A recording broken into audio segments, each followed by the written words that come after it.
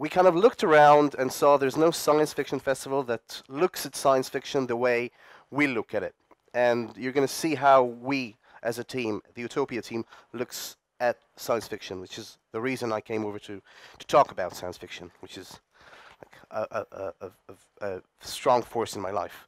Um, so I call myself a science, a science fiction evangelist, uh, which is a, I guess, a good way, a good spin on science fiction geek. My goal here is to have you all uh, uh, at the end of this talk as bigger appreciators and hopefully better equipped ambassadors of science fiction. And to the nitty gritty, let's see. Okay, so science fiction. Um, it's a highly creative storytelling art form, uh, both narrative and aesthetic. Um, it's a source for unbound inspiration for scientists and entrepreneurs and engineers and designers. It's also a great way to interact with kids about STEM education and to engage the wider public uh, with science, technology, and innovation um, issues. But I like to take all these wonderful traits aside and talk to you about science fiction from a very different angle. And I'll use the help of Slavoj Žižek, Slovenian philosopher. Um, this is him at the Occupy Wall Street uh, protests back in 2011. This is Zuccotti Park in New York. And he gave a speech there, and at, as part of the speech, he told a joke, which I'd like to reiterate to you. And it's a joke from old communist times. Um, a guy from East Germany um, is being sent to Siberia to work in Siberia. And he wants to keep in touch with his friends, but he knows that his letters are going to be read and censored. So he says, okay, let's, let's make up a code. Let's have a code. If I write a letter and the ink is blue, it means that the letter is true. If I use red ink, it means that it's false. Great. He goes away, a month passes, and the first letter arrives. And lo and behold, the letter is all blue ink. And what does it say? It says, I've arrived. The weather is wonderful. The streets are clean. The restaurants are full. The cinemas are showing great films from the West. My apartment is large and luxurious. The only thing I cannot get anywhere is red ink. Mm-mm.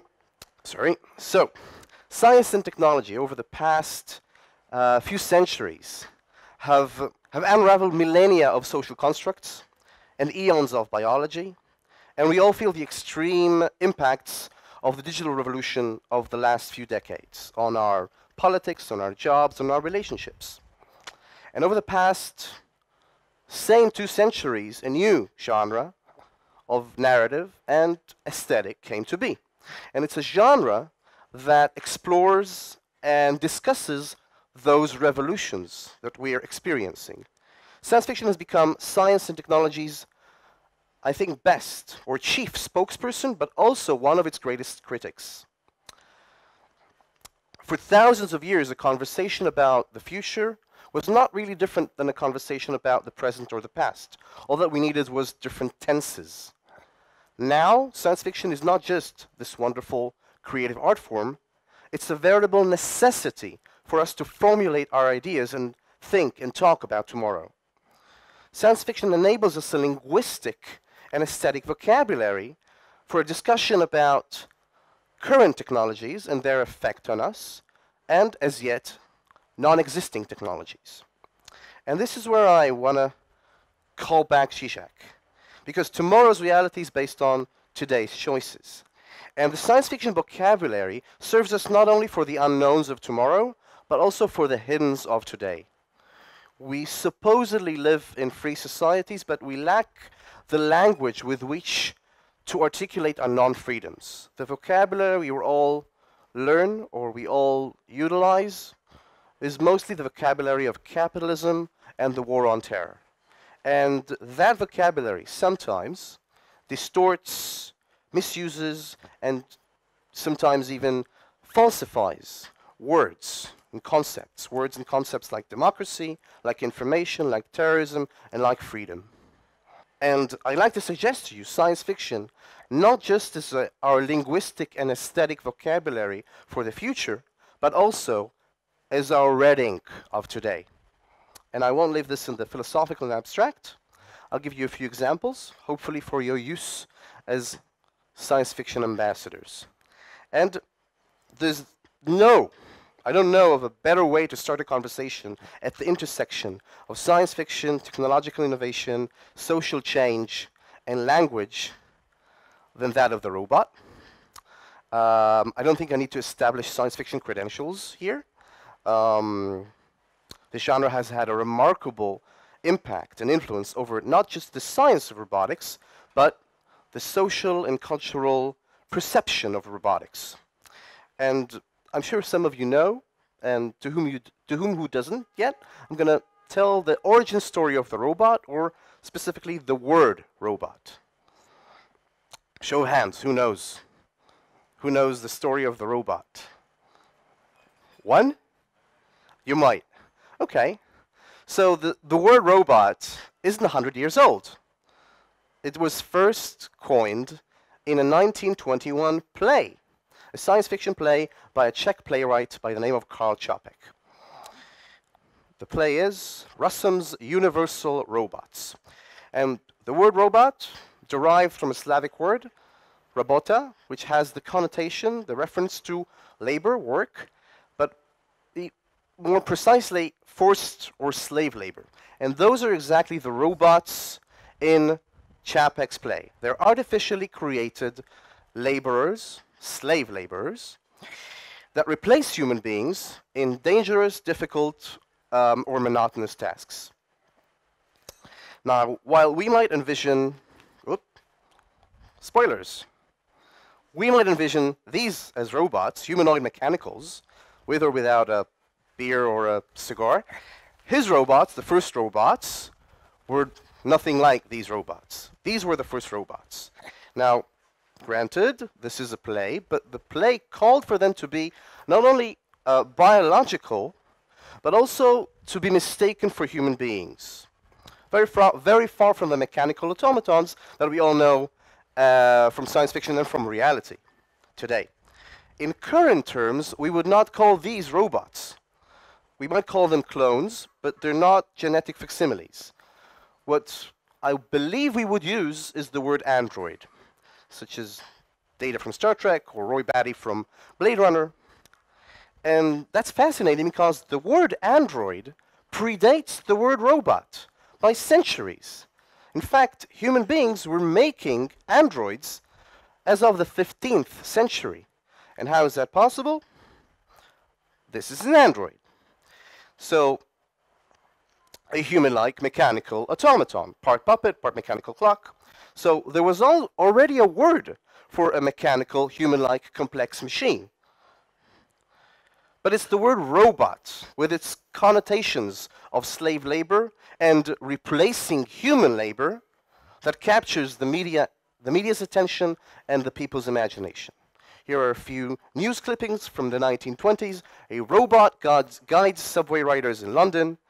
The robot policeman, police officer, uh, that uh, replaced the police officer. We now know these as ticket booths or ticket stations and traffic lights. But in South Africa, the original name persists, by the way. I've had this studied. Those are actual photos. So, why robot? I would claim to you that it has a lot to do with the social, economic, um, political landscape of that time. Human beings were treated as machines on the assembly line, and they were replaced by machines, and not only in manufacturing. And along comes Čapek's play with exactly that word that only, not only describes the technology, but also the social political um, phenomenon and the mass fear, the mass psychological fear from it. So, the first robot story Čapek's story is also the first robot uprising story, the first robot apocalypse. They rise and they destroy all humans. So these have been extremely popular ever since. And while they're wonderfully entertaining, and I love them as much as anyone else, they have a dangerous potential because they cater to our technophobia. And why are we so technophobic? Uh, asks Samuel L. Jackson in the recent Robocop remake. The phobia is inherent to the term itself, to the term robot, which is why one of the things I do, at, we do at Utopia, is advocating for um, science fiction creativity that explores um, more complex visions of the technological society that we live in. We need less of Čapek's creations and less man versus machine, us versus them scenarios, such as the Terminators and Ultrons and Cylons of other rebellious robots of the world. We need more HALs from 2001, more Datas, more uh, cases from Interstellar, which I hope uh, some of you have seen, and definitely more Samanthas from her. Um, I'm glad we see, we have some science fiction aficionados here. Um, the second example I want to give you, sorry, uh, I'd like to discuss from our future lexicon is from is a concept that was first envisioned in 1956 by Philip K. Dick. It was turned into a film. You know the film, the Steven Spielberg 2000 film Minority Report. And now, the production on this film was incredible. Uh, they've done wonderful work with scientists and engineers to imagine, design, and create on screen a tech plausible future for the year 2053. Now, touchscreens and personalized com commercials, they came by um, a little bit closer than 2053. Autonomous cars will also be among us soon. But the interesting idea explored, the most interesting idea explored in the film is that of pre-crime. So the first thing you know you need to know about pre-crime is that it works. What is pre-crime?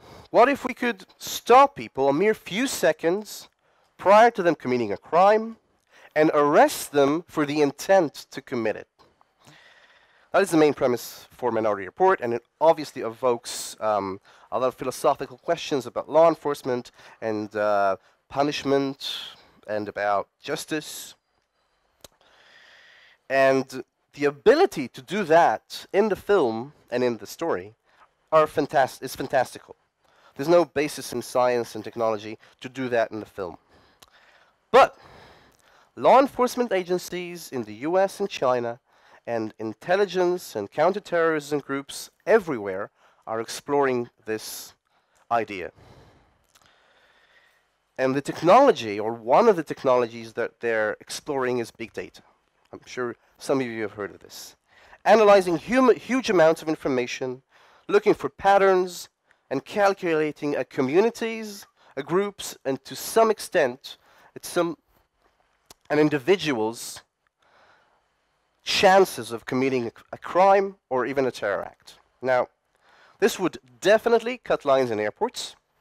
It would make stuff a lot easier in huge sports events like the Olympics, or for film festivals, or for uh, music festivals.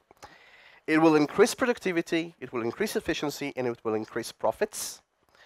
It will put criminals behind bars, and it will prevent terror attacks. It will save lives, and it will improve lives. And I'm going to invoke Zizek again. Because I hope you've noticed that the language I was using to describe the benefits of pre-crime was that of capitalism and war on terror. But what would it do to the average non-white person anywhere? Or to the ex-convict, someone who's been in jail and served his time? With the rhetoric we see in the US and some parts of Europe and elsewhere, what would it do how would these systems react to immigrants, to refugees, or to any singled out or marginalized group anywhere? Can we weed out bigotry from algorithms written by human beings? And how do we resist these systems? So these are open questions. I don't have any answers for them, or I have one, actually, I have one. And the one answer is our third and last word from the future lexicon.